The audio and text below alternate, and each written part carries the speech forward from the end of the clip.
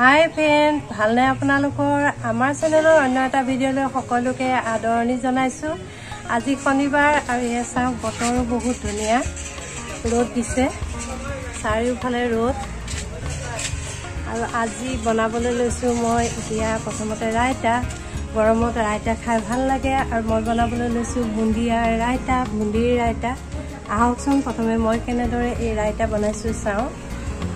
বুন্দিৰ ৰাইতা বনাবৰ বাবে লাগিব আমাক বুন্দিয়া আৰু টেঙা দৈ। বাতি এটাত অলপমান টেঙা দৈ লৈ লৈছোঁ। ৰাইতা সদায় টেঙা দৈহে খাবলৈ ভাল হয়। আৰু তাৰপিছত এতিয়া দৈখিনি ধুনীয়াকৈ ফেটি ল'ব লাগিব। এই ৰাইতাত কিন্তু অকণো পানী ব্যৱহাৰ কৰিব নালাগে নহ'লে খাবলৈ বেয়া হয়। অকণমান ফেটি পেলাই এতিয়া মই এয়া সোৱাদ অনুসৰি নিমখ আৰু দুচামুচ চেনি দি দিছোঁ। চেনিখিনি গুড়া চেনিও দিব পাৰে বা গোটা চেনিও দিব পাৰে। মই গোটা চেনিয়ে ব্যৱহাৰ কৰিছোঁ। আৰু এতিয়া মই ভালদৰে এনেদৰে ফেটি পেলাম। যিকোনো চামুচ হেতা বা যিকোনোৰে এনেদৰে ভালকৈ মিহিকৈ ফেটি পেলাব লাগে। আৰু এয়া মই মছলা ব্যৱহাৰ কৰিছোঁ। বুন্দি ৰাইতাত বুন্দি ৰাইতাত ভজা মছলা মছলাটো ভাজি পেলাই দিব লাগে। পাণ মছলা আৰু জীৰা গুড়া দিলেই খাবলৈ ভাল হয়। মোৰ পাণ মছলা জীৰা আৰু ইয়াত ধনিয়া গুড়া মিক্স কৰি ভাজি লোৱা আছে। আৰু অলপমান মিহি মিহিকৈ এয়া কাটি লোৱা তিয়ঁহ দিছোঁ আৰু এটা পিঁয়াজ সৰু সৰুকৈ এনেদৰে কাটি লৈছিলোঁ পিঁয়াজটোও দি দিছোঁ। আৰু এয়া মিহি মিহিকৈ কাটি লোৱা জলকীয়া আৰু ইয়াত বুন্দিয়া বুন্দিয়াখিনি দি দিম। বুন্দিয়া কিছুমানে ভিজাইও ৰাখে কিন্তু ভিজাই ৰাখিব নালাগে কাৰণ বুন্দিয়া এনেও দৈত দিলে ফুলিয়ে উঠে অলপ পিছত। গতিকে ভিজাই ৰখাৰ কোনো কাৰণেই নাই। এইটো হোটেলত পোৱা যিটো নৰ্মেল বুন্দিয়া সেইটোৱে ব্যৱহাৰ কৰিছোঁ। আৰু ইয়াত ধনিয়া পাত বা পুদিনা দিলে ভাল হয়। মই পুদিনা ব্যৱহাৰ কৰিছোঁ মিহি মিহিকৈ কাটি দিছোঁ। পুদিনাৰ সলনি ধনিয়া পাতো দিব পাৰে আৰু অকণমান জলকীয়া গুড়াও দিব পাৰে। মই জলকীয়া গুড়া দিয়া নাই আৰু অকণমান জালুকো দিব পাৰে। জালুককেইটা ভাজি লৈ তাৰপিছত গুড়া কৰি দিব লাগে। গৰমৰ বাবে জালুক ব্যৱহাৰ কৰা নাই। বহুত গৰম পৰিছে। কিন্তু ঠাণ্ডা দিনত বনালে জালুক অকণমান দিলে বেছি খাবলৈ ভাল লগা হয়। আৰু এয়া মোৰ বুন্দি ৰাইতা তৈয়াৰ হৈ গ'ল। বহুত সহজ বনাবলৈ খাবলৈ দৈ থাকিলেই মই বনাওঁ। ভাল লাগে। ফ্ৰিজত থৈ পেলাই খাবলৈ বেছি ধুনীয়া হয়। আৰু ফ্ৰিজত থৈ পেলাই আগতেও বনাই খোৱাৰ সময়ত পৰিৱেশন কৰিব পাৰে। আৰু কেইটামান এয়া মই বুন্দিয়া ওপৰত দি পেলাই এই ৰাইতাখন সজাই দিলোঁ। ভাত পুৰি পৰঠা সকলোৰে লগত খাই ভাল লাগে এই ৰাইতা। বুন্দি ৰাইতা হৈ গ'ল। বনোৱা আৰু এতিয়া আমাৰ ঘৰতে থকা জবা ফুল যি গুৰল বুলিও কয় বা ৰঙা ফুল বুলিও কয় সেই ফুলৰ সেই ফুলত ফাংগল লাগিছিলে ভাইৰাছ। আৰু সেই ভাইৰাছ লাগিলে মই কেনেকৈ ঘৰুৱা পদ্ধতিৰে ঠিক কৰোঁ সেইটোৱে আপোনালোকক দেখুৱাইছোঁ। মই ভিডিঅ'টো গা ধোৱাৰ আগতেই ৰাতিপুৱা কৰি ৰাখিছিলোঁ। এয়া চাওকচোন। আৰু এইডাল দেখিছে যে এইডাল বহুতে ৰঙা ফুল বুলিও কয় জবা ফুল বুলিও কয় আৰু গুৰহল বুলিও কয়। এই ফুলডালত সাধাৰণতে ভাইৰাছ কিছুমান লাগে আৰু গছডাল মৰাৰ নিচিনা কৰি পেলাই মাৰিয়ে পেলাই কেতিয়াবা যদি তাৰ সঠিক যত্ন লোৱা নহয় বিষ বেলেগ বেলেগ ফুলবিলাকতো হয় কিন্তু এনেকুৱা জবা ফুল এই গুৰহল ফুলত বেছিকৈ হয়। মই কেনেদৰে ঘৰুৱাভাৱে ইয়াৰ যিটো ভাইৰাছ সেইখিনি ঠিক কৰোঁ আপোনালোকক মই ৰাতিপুৱা মই ইয়াত ব্যৱহাৰ কৰিছোঁ সেই বস্তুটো। মই ভিডিঅ' কৰি ৰাখিছিলোঁ আপোনালোকক মই এতিয়া দেখুৱাইছোঁ আপোনালোকে চাওকচোন। আপোনালোকৰ যদি হয় তেতিয়া আপোনালোকেও ব্যৱহাৰ কৰিব পাৰিব। এয়া ফুলবিলাকৰ গুৰিত এয়া বগা বগা হয়। ফুলৰ আগবিলাকত বেছিকৈ হয় আৰু কোঙাৰ নিচিনা হৈ যায় আৰু ফুলিবলৈ ফুল নুফুলা হয় আৰু লাহে লাহে গোটেই গছজোপাই এনেদৰে ভৰি পেলাই যদি ইয়াৰ সঠিক যত্ন লোৱা নহয় তেতিয়া গোটেই হালধীয়া হৈ পেলাই মৰি যোৱা নিচিনা হয়। বিশেষকৈ এই ফুলবিলাকত এই গুৰল ফুলবিলাকত বেছিকৈ হয়। অন্য গছত অলপ কম পৰিমাণে হোৱা দেখা যায়। আৰু এই এসপ্তাহমানৰ মই আগত ব্যৱহাৰ কৰিছিলোঁ আৰু সেইকাৰণে এয়া নতুন নতুন কোমল বহুত পাত ওলাইছে বহুতখিনি ইম্প্ৰুভ হৈছে। আকৌ আজি এয়া ব্যৱহাৰ কৰিলোঁ এটা এনে এনেকুৱা পানীৰ দিব পৰা এটা স্প্ৰে বটল লৈ লৈছোঁ যিটোত মই ফুল বা অন্য কিছুমান হেৰিটোত পানী দিওঁ। এয়া আধা বটল পানী লৈছোঁ আৰু এয়া ডাঙৰ চামুচৰে দুচামুচ হালধি দিছোঁ। আৰু দি পেলাই এতিয়া খপখন ইয়াৰ ঢাকনিখন মাৰি ল'ম। এনেকুৱা বটল নাথাকিলে পানী ওৱান টাইম পানীৰ যিবিলাক বটল আহে সেই বটলবিলাকো ফুটা কৰি পেলাই এনেদৰে দিব পৰা যায়।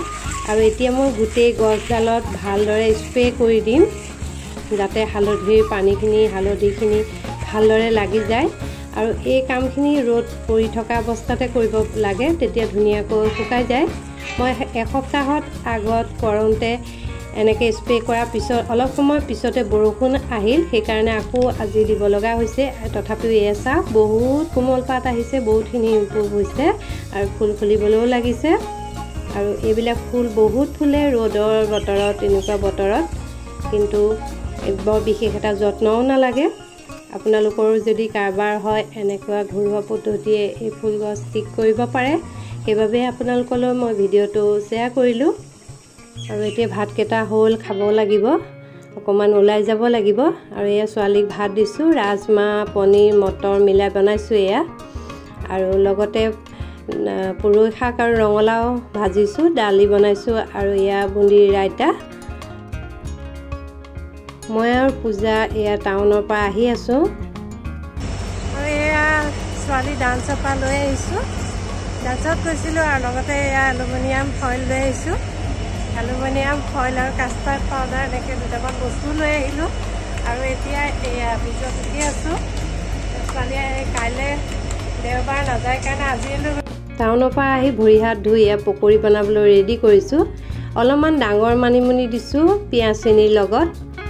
আৰু শুকলতি মান ধনিয়া আৰু নৰসিংহ পাত দি পেলাই আজি পকৰি বনাম।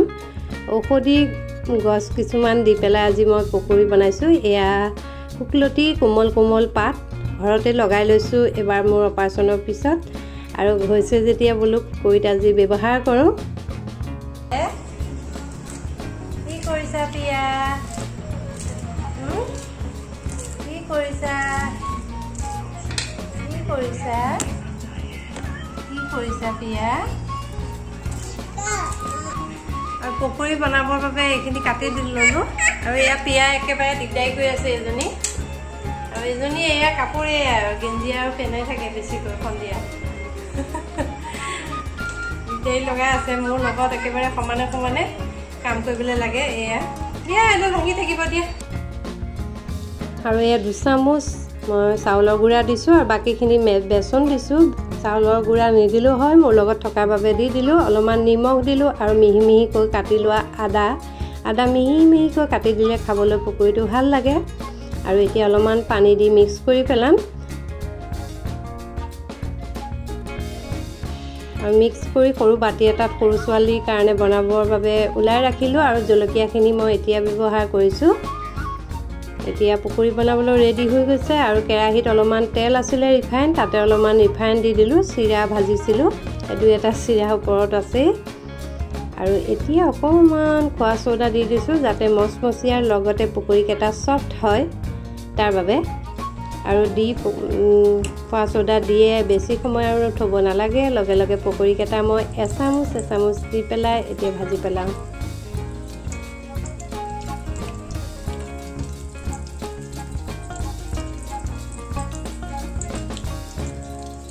বহুতকেইটা দি দিলোঁ। আৰু পকৰি চামুচখনৰে দিছোঁ হাতৰেও দিব পৰা যায়। আৰু পকৰিবিলাক অকণমান তেৰা বেকা হ'লেহে খাই ভাল লাগে নহয়নে?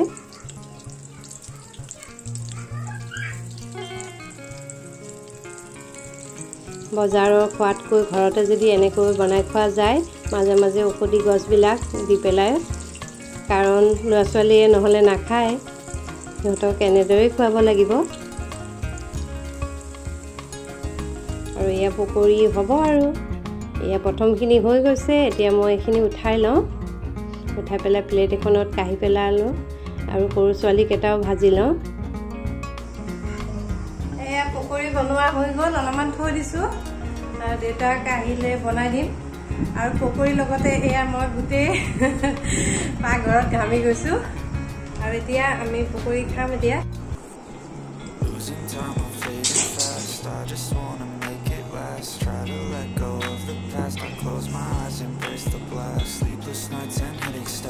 Restlessness to hell and back What's my purpose, what do I grab? A slippery surface, a heart attack And sometimes Piya খাইছানে Piya খাইছানে that'll give you relief. There's something that'll have what you need.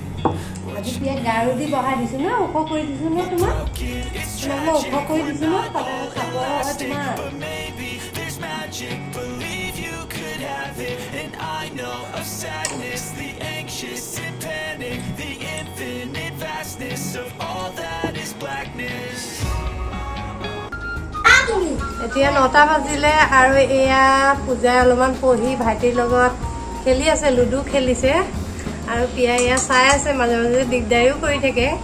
কিন্তু ওচৰতে বহি আছে তাই। আৰু মই ভাতত লাগিছোঁ মানে আৰম্ভ কৰিছোঁ আৰু হ'বই আৰু পাই। দিনৰে অলপ কিবা কিবি বনাই ৰাখিছিলোঁ। আৰু ভাত বনাই পেলাই গা ধুম। কাৰণ গৰম বহুত ভাত খাই যেতিয়া গা ধুব নালাগে তেতিয়া কাৰণ পেটৰ কাৰণে বেয়া বুলি কয়। ভাত খাই গা ধুলে সেইবাবে আগতে ধুব লাগিব আৰু আজিৰ ভিডিঅ'টো চাই যদি ভাল পাইছে তেনেহ'লে শ্বেয়াৰ কৰি দিব। আৰু ইমানতে আজিৰ ভিডিঅ'টো শেষ কৰিছোঁ। থেংক ফৰ ৱাচিং মাই